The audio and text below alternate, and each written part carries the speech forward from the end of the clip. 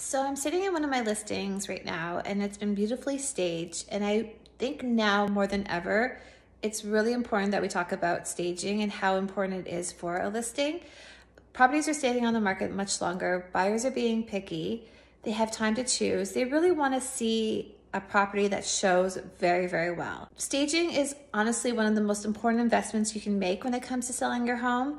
I know it costs a lot. It can cost a lot for a seller it can cost a lot for an agent, but honestly, the amount of money that you're going to get back is truly worth it. When you walk into a space that is vacant, it looks a lot smaller. Surprisingly, you'd think it would look bigger, but actually looks a lot smaller. So when you stage it, it actually shows and have it professionally staged, it actually can show you how big a space is and how beautiful it can be and the potential of where to put furniture, the amount of times I've had a client look in a vacant room and think, oh, my couch would never fit here, or my bed will never fit in this room, and they'd be shocked to know that it could.